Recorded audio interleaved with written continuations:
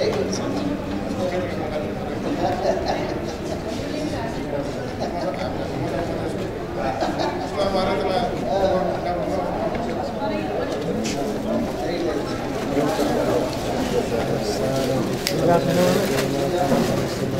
afternoon.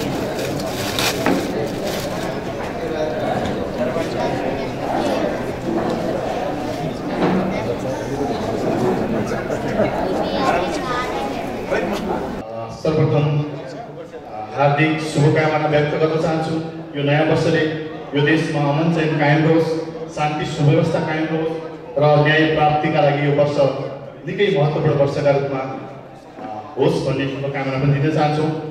आजकै दिन अर्थात् चौध अप्रेल उन्नाइस सय एकानब्बेमा भारत मध्य प्रदेशको इन्दोरमा महु छा महु छाउनीमा डक्टर अम्बेडकरको जन्म भएको थियो र उहाँ एउटा सिम्बल अफ नलेज अर्थात् समान समानतावादी व्यक्तित्व महान देश भारतका संविधान निर्माता त्यस्तै गरी दलित गरिब शोषित पीडित जन पीडित जनताका मन मस्तिष्कमा बसेका एकजना व्यक्तित्व हुनुहुन्छ तिनै व्यक्तित्वलाई आज हामी सम्झिँदै गइरहेका छौँ र सम्मान गर्न गइरहेका छौँ यो भव्य एउटा उहाँको जन्मोत्सव कार्यक्रम हामी मनाउन गइरहेका छौँ यिनै महान व्यक्तित्वको जन्म जयन्तीलाई एउटा उत्सवका रूपमा मनाउँदै आएको छ र यो संस्थाले नेपालमा नेपाल बौद्ध अम्बेडकर महासभाले नेपालमा शोषित पीडित दलित समुदाय गरिब पछाडि पारिएका समुदायका लागि विभिन्न प्रकारका सामाजिक जागरण कार्यक्रमहरू पनि सञ्चालन गर्दै आएको छ।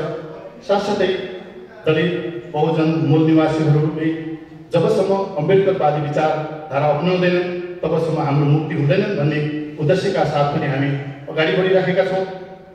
आज यसकारण पनि हामी यो जन्मोत्सव मनाउन गइरहेका छौँ। यो जन्मोत्सव केवल जन्मोत्सवका लागि मात्र नभएर डक्टर भीमराव अम्बेडकरका विचारलाई जागरण अभियानको रूपमा सञ्चालन गर्नुपर्छ भन्ने हामीले आवश्यक ठानेका छौँ।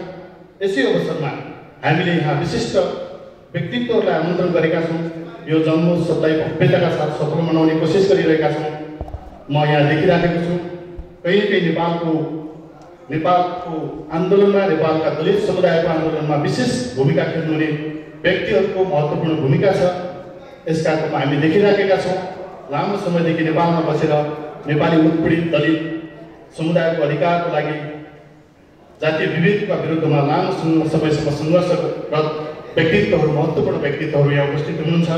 आज हामी यो कार्यक्रममा दलित आदिवासी जनजाति मुस्लिम अनि पिछडिएका समुदायको हक अधिकारका लागि हामी एकजुट भएर कसरी लाग्न सकिन्छ भन्ने विषयमा पनि हामी केही विशेष छलफल र आफ्ना मन्तव्यहरू राख्नेछौँ र यो कार्यक्रमलाई भव्य रूपमा सफल पार्नु हुनेछ भन्ने मैले पूर्ण रूपमा विश्वास लिएको छु। यहाँहरूले तालिएर स्वागत गरिदिनु पनि हार्दिक अनुरोध गर्दछु।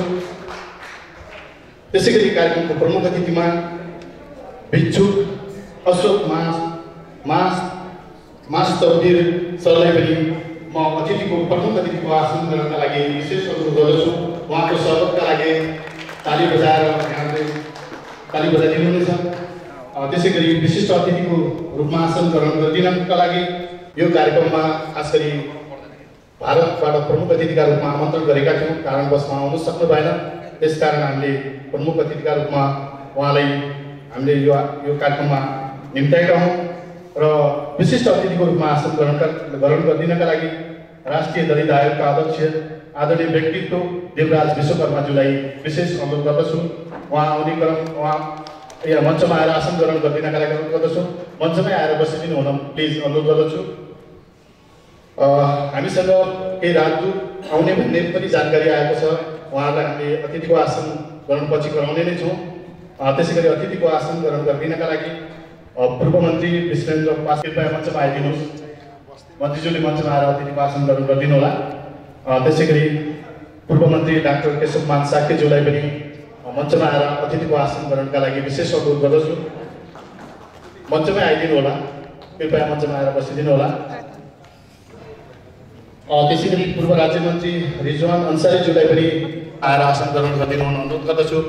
त्यस्तै दलित अधिकार कर्मी कर्मी कमला हेन्चुरीज्यूलाई पनि अतिथिको आसन ग्रहण गरिदिनका लागि अनुरोध गर्दछु। त्यस्तै दलित अधिकार कर्मी दलमर्दन विश्वकर्माज्यूलाई पनि अतिथिको आसन ग्रहणका लागि हार्दिक अनुरोध गर्दछु। त्यस्तै सामाजिक अभियन्ता एवं सञ्चारकर्मी जसले लामो समयदेखि नेपाली दलित उत्पीडित समुदायका लागि कलम चलाउँदै आउनुभएका एकजना यस्तो व्यक्तित्व हाम्रो समाजको एउटा ऐना भनेर म उहाँलाई सम्मान गर्न चाहन्छु। ती व्यक्तित्व सञ्चारकर्मी आदरणीय व्यक्तित्व स्वरूप सुनारज्यूलाई पनि अतिथिको आसन ग्रहणका लागि विशेष अनुरोध गर्दछु। उपाध्यक्ष भीमेश विकज्यूलाई पनि अतिथिको आसन ग्रहणका लागि अनुरोध गर्दछु।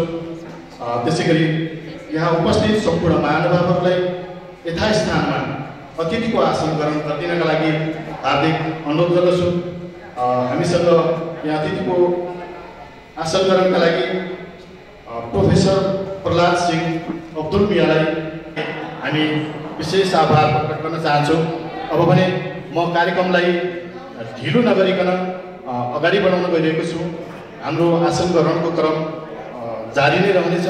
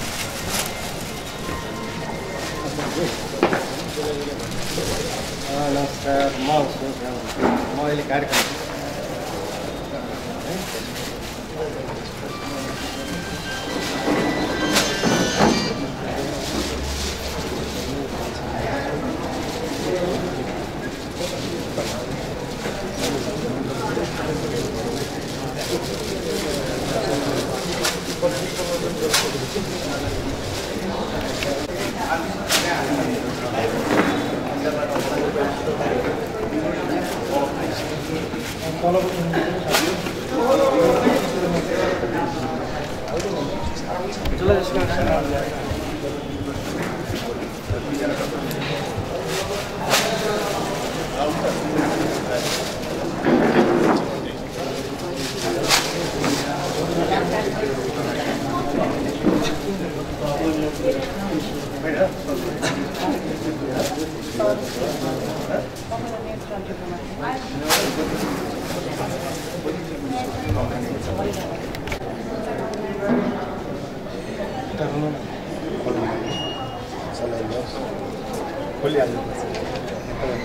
바다로 해줘.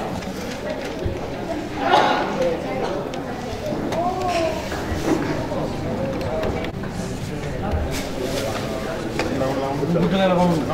Untuk yang lawan mungkin. Jadi,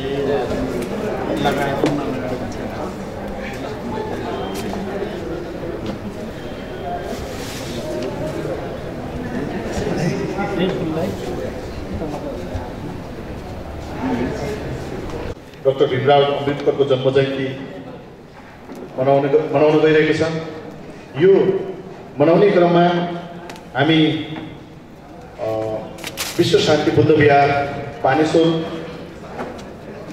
कार्यालयलाई विशेष विशेष धन्यवाद दिन चाहन्छौँ हामीलाई यो अवसर प्रदान गरिदिनु भयो कम्तीमा यो एउटा ठुलो सौभाग्य हो हाम्रो लागि पनि हाम्रो संस्थाका लागि पनि तपाईँलाई विशेष विशेष धन्यवाद दिन चाहन्छु।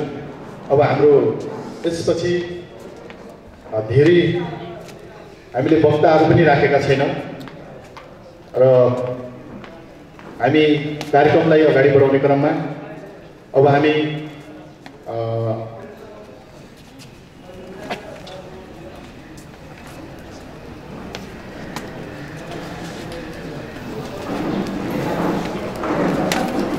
धन्यवाद यहाँहरू सम्पूर्णलाई। दीप प्रज्वलन र माल्यार्पणका लागि यहाँहरूलाई विशेष विशेष धन्यवाद दिन चाहन्छु।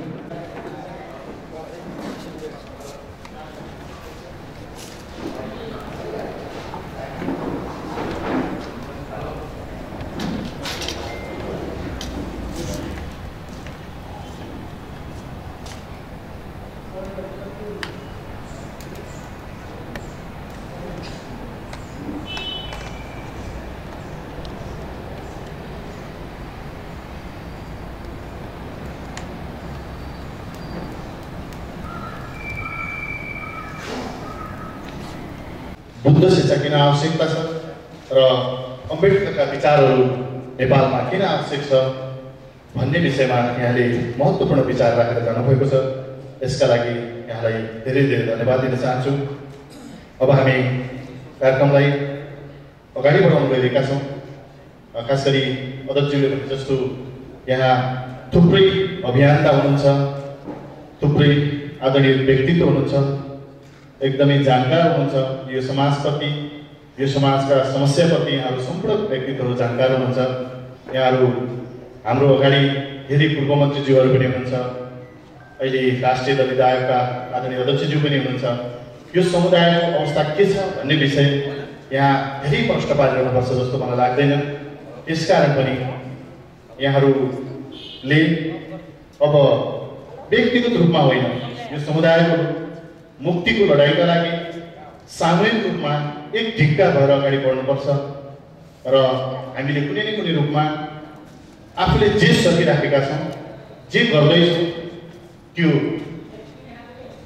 अहिलेका लागि त्यो एकदमै जरुरी छ र जे गर्यो त्यो ठिकै पनि रह्यो। तर आगामी दिनमा अबको केही वर्षपछि अब हामीले कम्तीमा पनि यो राज्यसँग लडाइँ लड्नुपर्नेछ यो राज्यसँग हामीले चाहिँ आफ्ना समुदायका लागि अगाडि बढ्नुपर्नेछ भन्ने उद्देश्यका साथ यहाँहरूले पनि विचार तपाईँहरूका आफ्ना विमर्शहरू त्यसरी अगाडि बढाउनुहुनेछ भन्ने मैले पनि विश्वास लिएको छु। अब हामी कार्यक्रमलाई अगाडि बढाउने क्रममा यो कार्यक्रममा आफ्नो कार्यपत्र प्रस्तुति गरिदिनका लागि आदरणीय दिदी कमला हेन्चुरजीलाई हार्दिक अनुरोध गर्दछु उहाँ अहिले बुद्ध शिक्षा हासिल गरिराख्नु भएको छ। खास गरी नेपालमा अम्बेडकर दर्शन किन आवश्यक छ र बुद्ध शिक्षा किन नेपालमा आवश्यक छ भन्दै भन्ने विषयमा आफ्नो कार्यपत्र प्रस्तुत गरिदिनका लागि हार्दिक अनुरोध गर्दछु उहाँलाई।